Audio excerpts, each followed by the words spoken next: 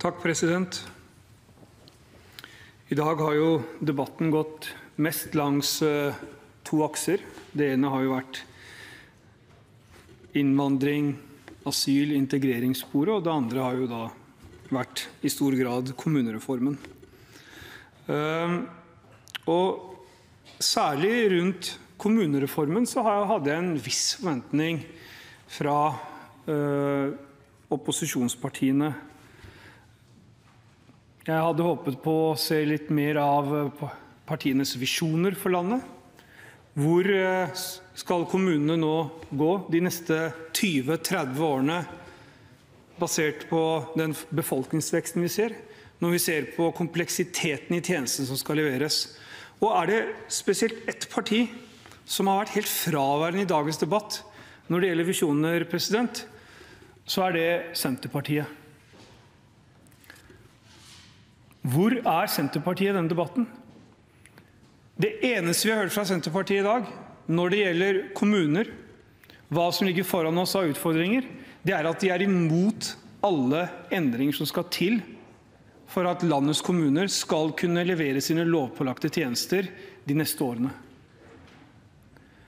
Når vi snakker om kommunereform, så er de imot. Politireform, sykehusreform. Alle endringer er man imot.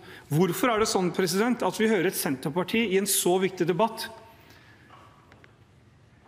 ikke si noe annet enn nei til alt som heter endring?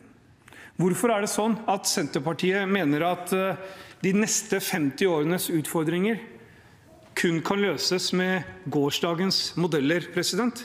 Og jeg vil utfordre Senterpartiet, og spesielt min kollega i komiteen, til å reflektere litt mer over de løsningene de selv har for hvordan vi skal løse disse utfordringene. Jeg hører at de er imot regjeringens, men hvor er deres egne ambisjoner?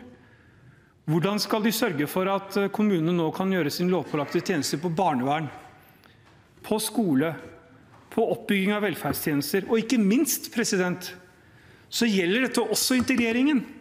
For det er nemlig slik at hvis kommunene skal kunne bosette og integrere de tusenvis av flyktningene som kommer til dette landet, så er vi nødt til å ha mer robuste kommuner. Så jeg må avslutningsvis si at Senterpartiet er egentlig fraværende langs begge aksene i dagens debatt. Både integreringen og kommunereformen. Fordi de er imot enhver endring som kan få oss frem til et punkt hvor vi faktisk kan si at uh, nå er landet mer synkronisert i forhold til utfordringene. Takk, president.